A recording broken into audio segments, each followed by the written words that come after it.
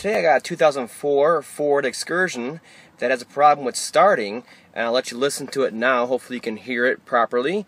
And what it'll do is it'll try to start. It'll like hiccup and hiccup again and and uh, may just go cranking after that but usually they keep hiccuping and you keep trying and trying you think it's gonna start and you'll have a valid crank signal and all that stuff uh, wheel pressure over here. And I'll let you listen now and then we'll get into the diagnostics a little bit and then uh, how to change out the FICM itself you listen for it now.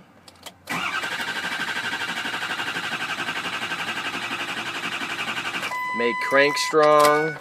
It may hiccup and try to start. And this right here is a dead giveaway that your FICM is failing. Every one of these uh, circuits for the injectors are low. Think about what's the chance every one of these harness or injector wise going bad. Only thing that's central to all of those is the FICM itself. Alright, now the best way to diagnose a FICM that's failing, especially when you're doing a cold start, before it ever sets those codes for injector circuit low, is to actually come in here and look at the data stream to the PCM. Get your scan tool out and check these few PIDs on there, and we can we can tell right away uh, if it, it, has an issue or not, especially when cranking. Now, what I want to point out on here is that the powers you need to check are the L power and the V power and the M power. Now, the V power and L power should be battery voltage, so they should be 10 volts or higher, 9 volts is okay, but 10 volts and higher, even during cranking, is best. And then your M power, that's your actual power going out to your injectors. So that needs to be 48 volts to really fire those injectors, especially uh, fire them properly. And if you have anything below that, according to Ford, it will actually cause misfires and no starts and all the other rest because the injectors aren't actually firing the actual spool valves; they're not moving uh, inside of them. So as you can see over here, we are at 47 to 48 volts going along. The key is just on at this point. And then once you get over here, you can see I'm cranking because of drop of voltage coming into the FICM. Once I start cranking the engine and try to start it while it's cold, you can see that M power for the FICM drops out of the sky to 43 and kept dropping from there. We're going to try to give you a bird's eye view here. I got this new camera mount where it attaches to just about anything. We're going to hang off the hood here and uh, show you how I get it done. And then I'll put you down there closer once we start getting towards the FICM itself. And hopefully I don't get in the way too much here.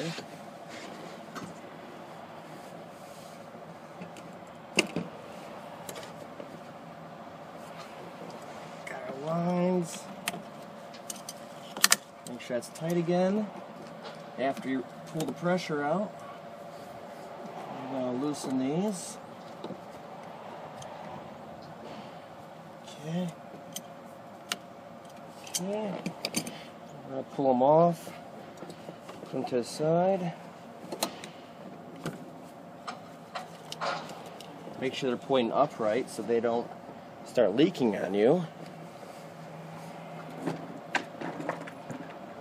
They'll do it silently and they'll be leaking all down your engine the whole time you're doing this. And then we're going to cap this bottle off. It's about 3 eighths. Is the size on here. Pull the 8 mil over here for the clamp. It's a little too loose. And then we're going to disconnect the mass airflow. And then we're going to loosen these. We'll take them out actually. Put those to the side.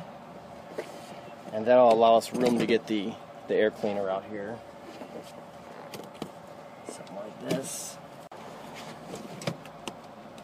Don't forget your air minder. Then we can get this whole baby out of here. One piece. And then after that, again, make sure it's clicked. These ports are sealed we're going to pull this thing down and out and put it upright.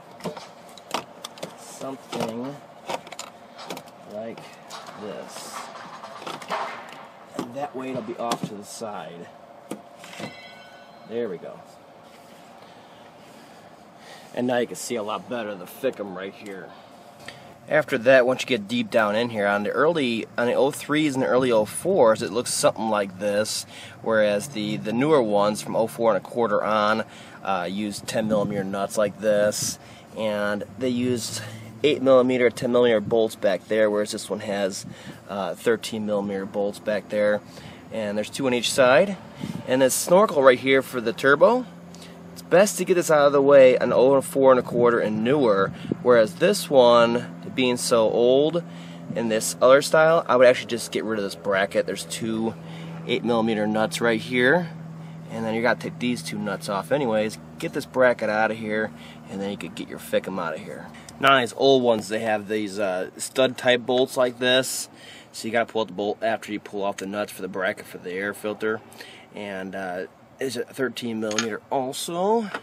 And then it should be free I'd be stuck to it. Yeah, there you go. It's stuck to a little bit. Now once your FICM is free from the valve cover, there's three connectors on here and they have clips on both sides uh, to hold them in. So you gotta make sure you unclip both of them. And it might be a little bit of a fight to get them out. There's a lot of pins on them, but make sure you unclip both sides and then just give it a good tug and get them off of there. Before you go touching the actual connectors on there, make sure that the key is off. And you should probably have the batteries disconnected. I don't do it, but uh, you should definitely have the key off because these are high voltage.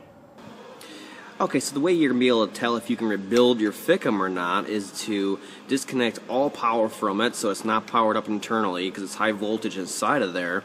And then we're going to pull these T20 screws out of there. And your cover may be stuck to it a little bit with the seal on there and all that. Of course, this one's been off already. And uh, you're going to inspect for these bus bar screws right here.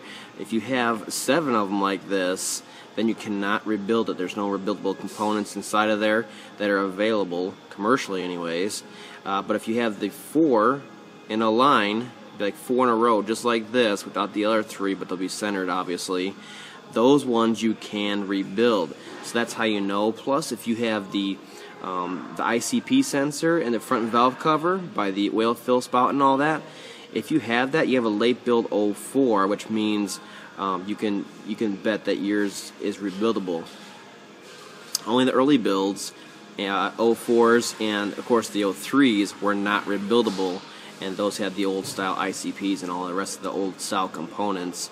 And the big update was 04 and a quarter. So hopefully you have the rebuildable one because that'll save you a lot of money. Now on the old ones you're going to pull out the bushings. You're going to pop them through there from the back side here, something like this.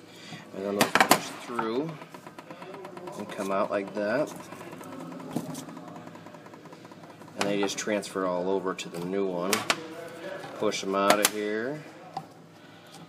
The old stuff out of here. On the new ones, you don't have to do this.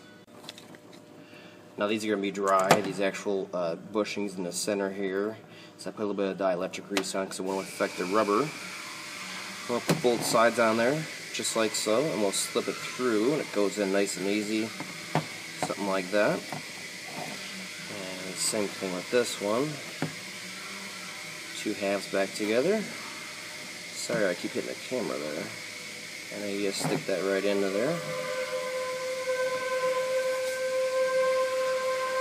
You're to go. Now the one thing I do is this rubber on the outside here is what makes it so hard to get them in and out. The connectors on here, put a little bit of dielectric grease in there. And that'll make sure you get them fully seated. because you want both sides of that connector to be seated and this will make sure you get it in there with ease and uh, get both sides clipped on there now going back in like I said make sure each one of these connectors uh, clicks in fully both sides. You share two clicks per connector. Let's hopefully be able to hear it here. You hear them there? You gotta make sure that happens on each one of these. After that, basically, after that, installation is reversal of removal.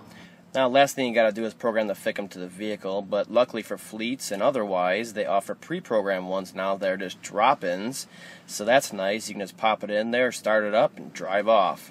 Um, there is a repair procedure for these for the DC to DC converter in there, and that's what usually goes bad on these. Now, in contrast, here's the same data, but after the FICM has been replaced with a brand new unit where the DC to DC converter is working properly. You can see our input voltages are just fine 10, 11, 12 volts, okay? And then our actual FICM M power is 48 volts, which is perfect. And then you go along here, right here is 48 volts, and you can see once I start cranking the drop in voltage coming into it, you can see I only dropped to about 47.5, 47 volts, 48, and it keeps going back and forth. It, it stays there and it can hang with it. Um, whereas before, once it put, had a load on it, it just couldn't hang and it just dropped right down out of the sky. Uh, so that's the big thing to watch out for. Even before you have any code set, don't just look at it key on engine off, go, oh, I got 48 volts, 47. It should be just fine. It should be just fine. You better crank it because it, like I showed in the other one, once it has strain on it, it just dropped out, and that will cause your no start.